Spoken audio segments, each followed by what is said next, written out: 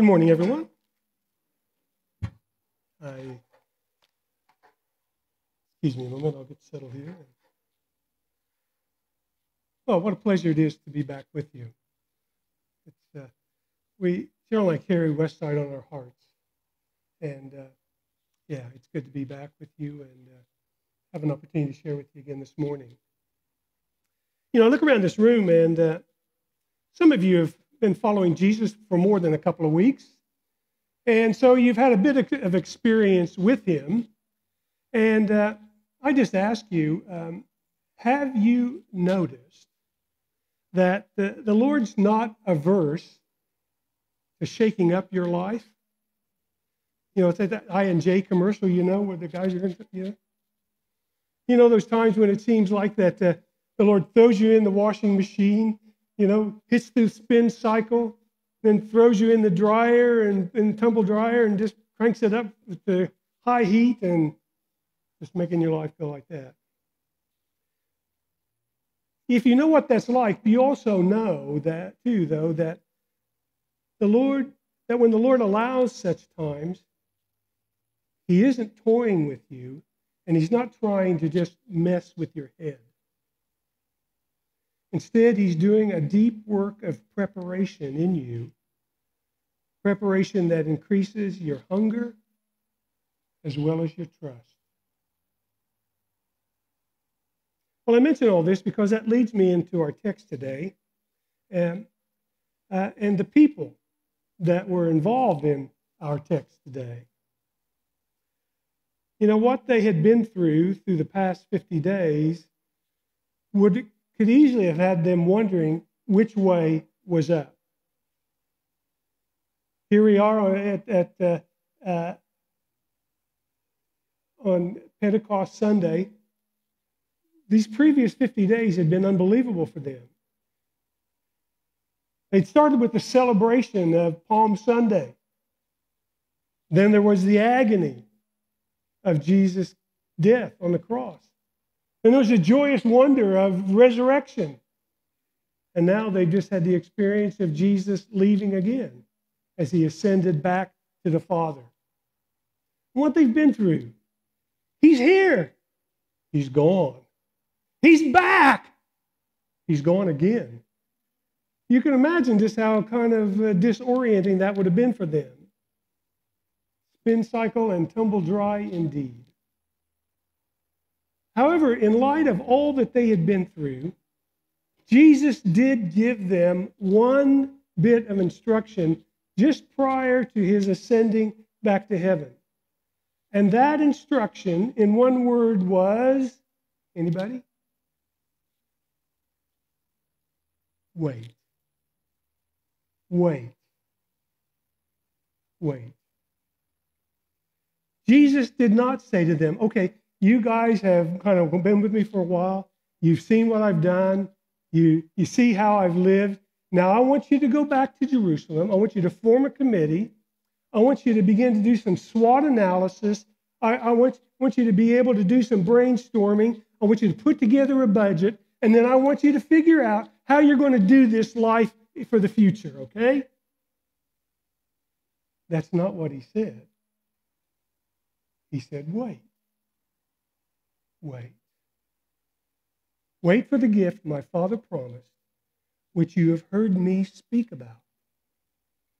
John baptized you with water, but in a few days you will be baptized in the Holy Spirit. Well, all that's a prelude to our text. Okay, it's me. So you know when we do scripture, you got to stand. Let's stand together as you read God's word. Acts chapter 2, verses 1 to 6. When the day of Pentecost came, they were all together in one place. And suddenly a sound like a, like a blowing of a violent wind came from heaven and filled the whole house where they were sitting.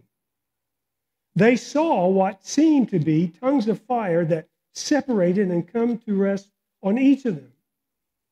All of them were filled with the Holy Spirit and began to speak in other tongues as the Spirit enabled them. Now there were staying in Jerusalem God fearing Jews from every nation under heaven.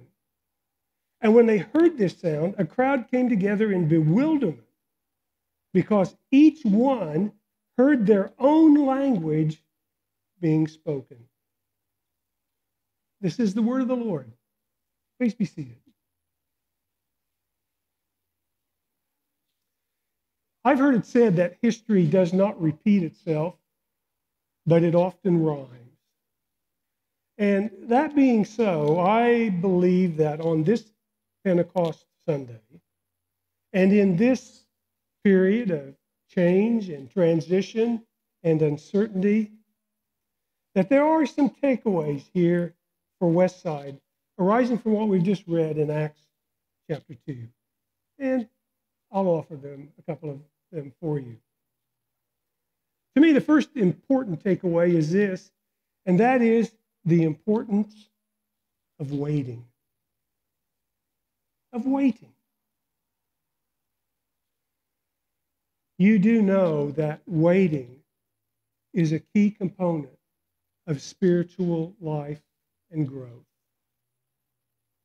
There are over 100 references in Scripture about waiting on the Lord. Does that rub against the grain for anybody here? It certainly rubs against the grain of our culture, you know, our, our frenetic, get her done, hurry up culture. We do not like waiting. I get reminded of this every time I go to doc, see Dr. Sue. Some of you know Dr. Sue. You know, here I am in sitting where in what we used to be called the waiting room, you know, and I'm waiting and I'm waiting. And I find that every minute that ticks past my appointment time, I'm mumbling and grumbling even more.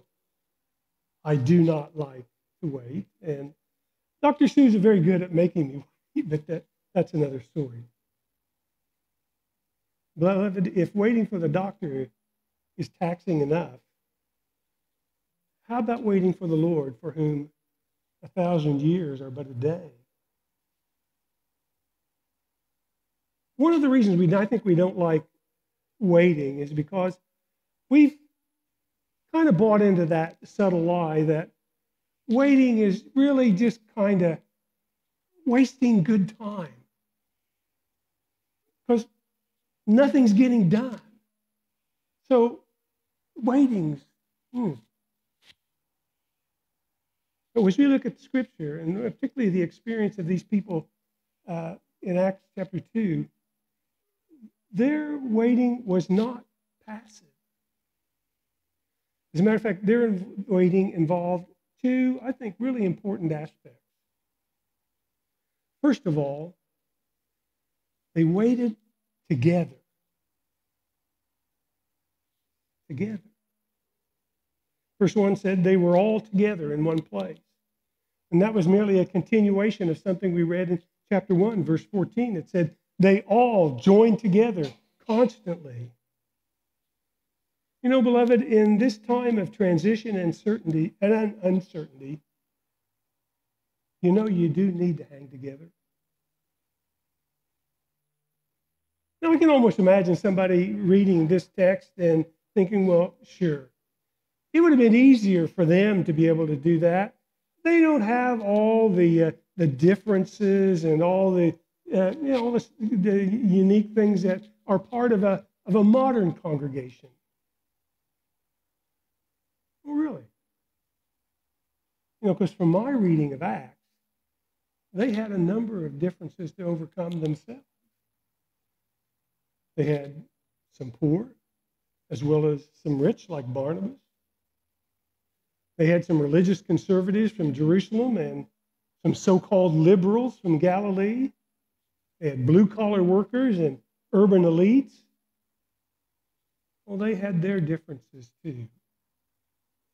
But they had one overarching reality that held them together, and that was their common faith in Jesus. Jesus, their risen Lord, was the glue that minimized their differences and held them together as one body. And my friends, I would say to you today, regardless of whatever differences are in this room today, regardless of the differences of opinions, regardless of the difference of approaches, regardless of the difference of taste, right now, as you wait, you need to fix your eyes on Him who brought you together in this place. The biblical witness is this in unity, God commands a blessing.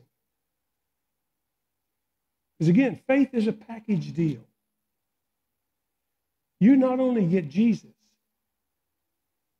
but you get a community, his body, who shares your love of him. They waited together. And I encourage you to do likewise. That was the first part of their waiting. Here's the second. As they waited, they prayed.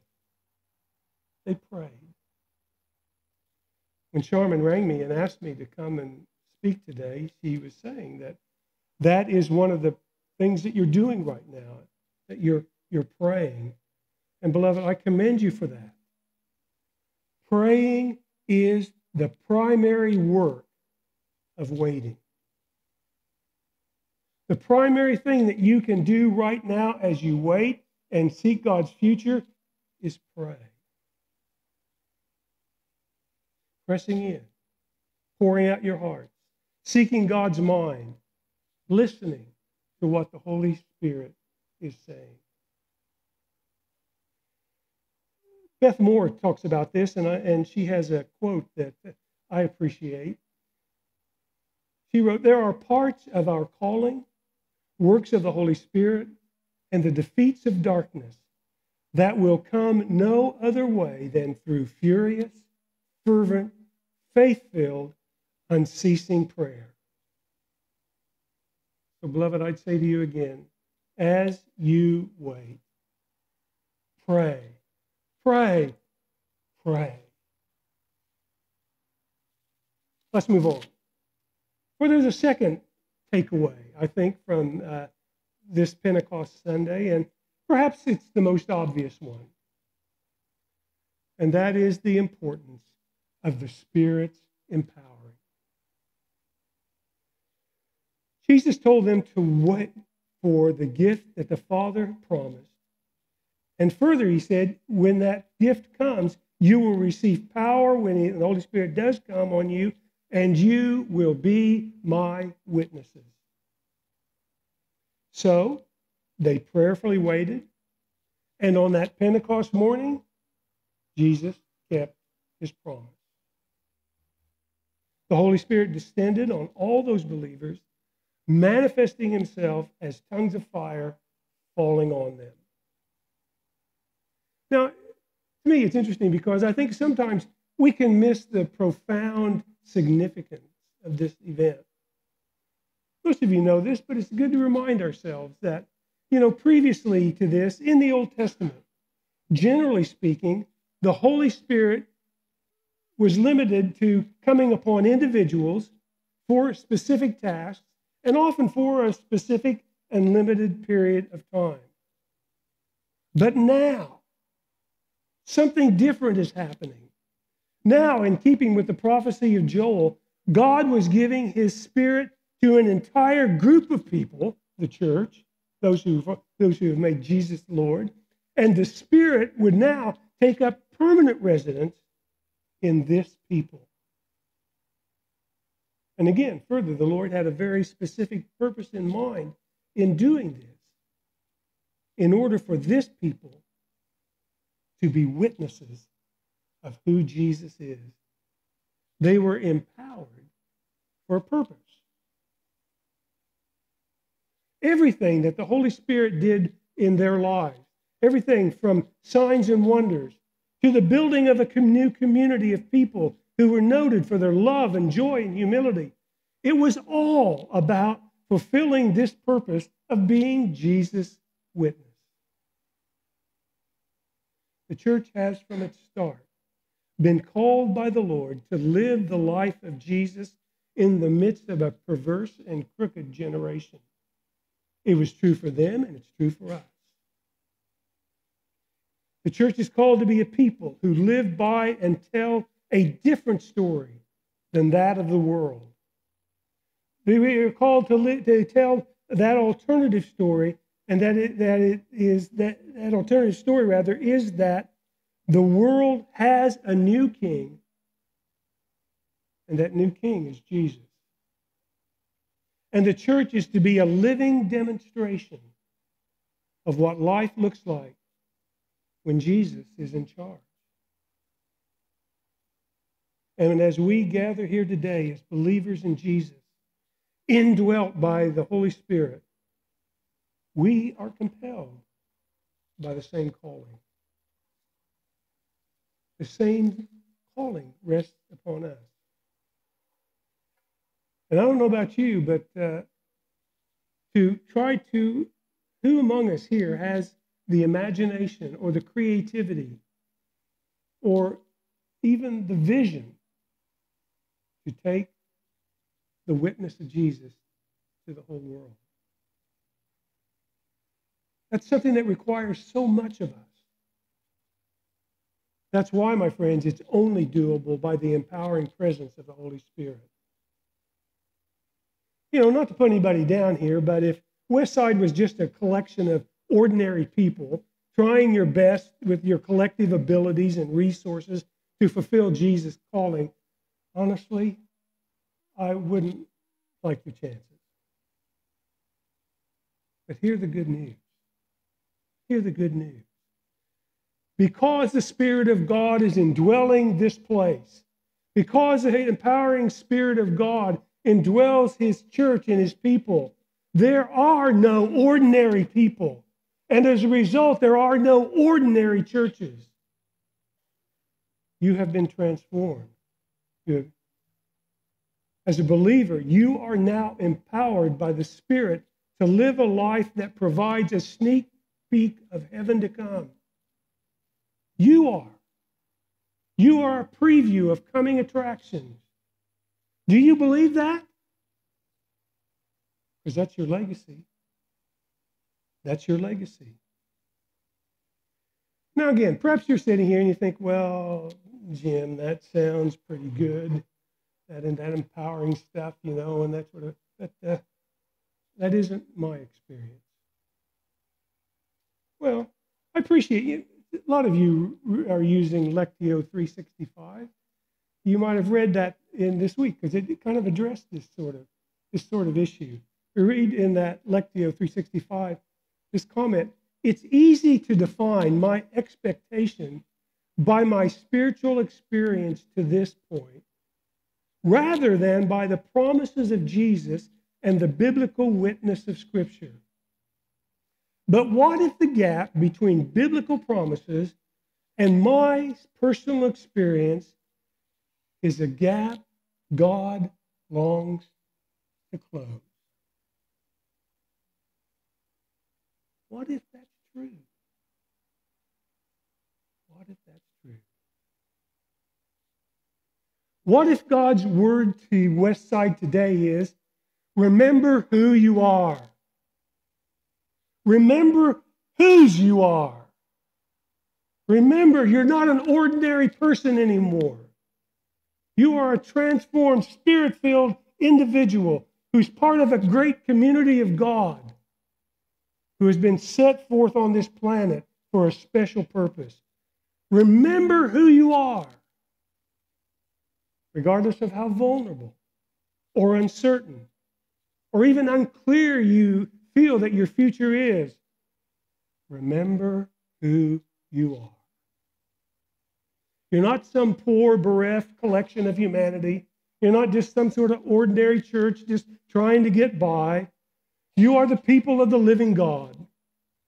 You are living the life of your Lord Jesus, and you are empowered to do so by the same spirit of power that raised Jesus from the dead.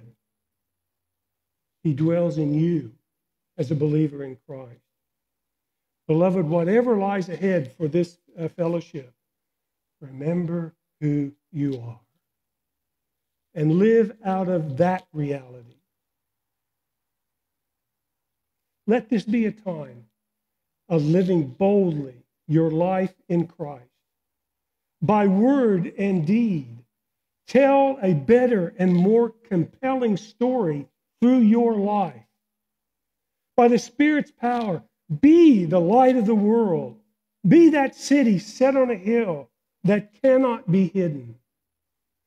And I'd say to you too, discern the times. Discern the times. I, I don't know if you, you know, I know some of you have been praying for renewal. Some of you have been praying that, that God would send a time of revival. And sometimes it feels like those prayers have just kind of hit the ceiling and bounce back. But you know, as you look, as you listen to what's happening around the world, the first seeds of change, I believe, are happening.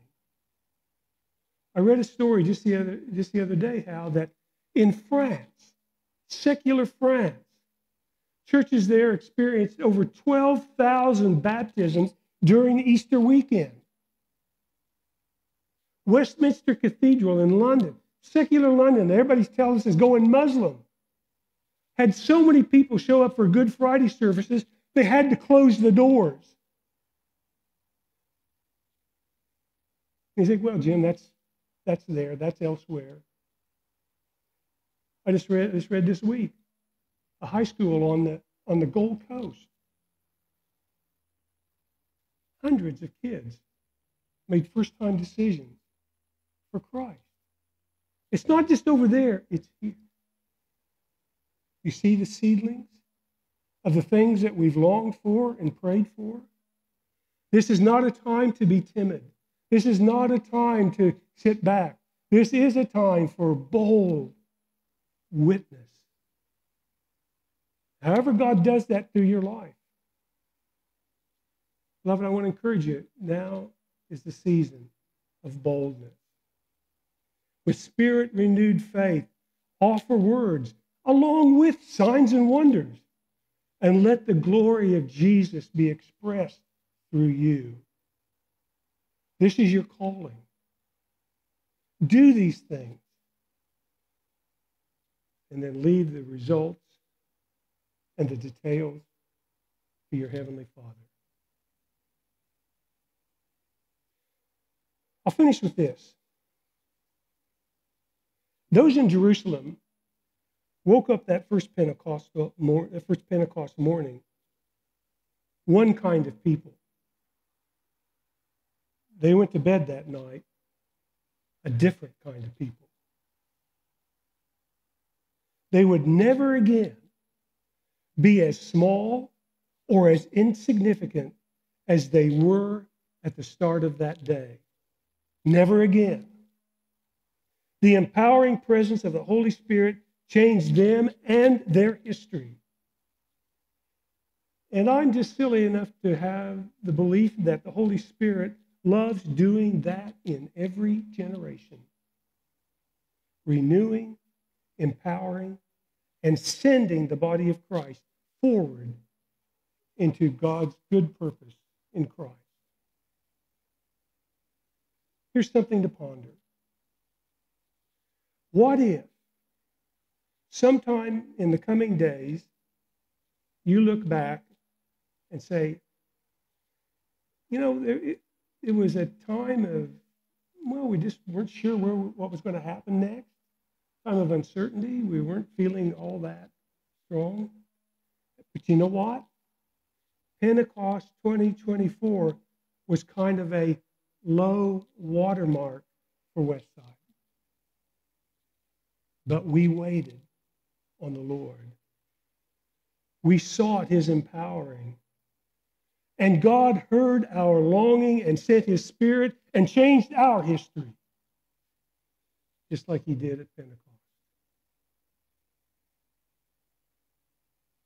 Do you have even a mustard seed of faith to believe something like that could be true here? Could I just say to you, with the Apostle Paul, eye has not seen, nor ear heard, nor has it entered into the heart of man the things which God has prepared for those who love him.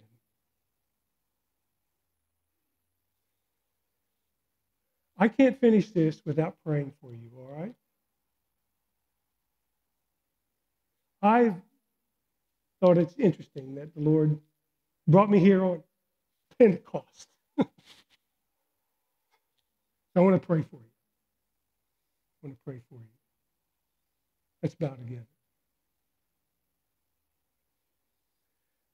Father, we bless you that in your wisdom and your mercy, you sent the Lord Jesus into our lives.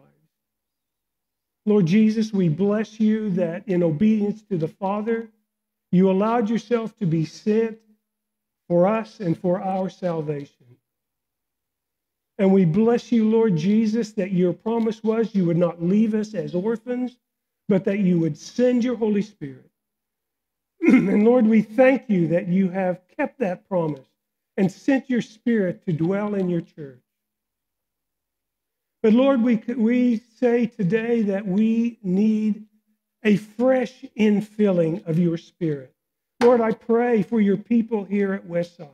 I say, Come, Holy Spirit. Come, Holy Spirit, and fill your people afresh. Renew their fervor, renew their zeal for you and your kingdom. Let them be filled with a, a, a God filled imagination that will lead them into the future. Let them be empowered afresh to give vital, winsome witness to who you are, Jesus. And Lord, may you empower them afresh to live your unique, compelling life in this generation. Come, Holy Spirit, and fill your people afresh, I pray. May Westside have a fresh experience of Pentecost themselves. In Jesus' name.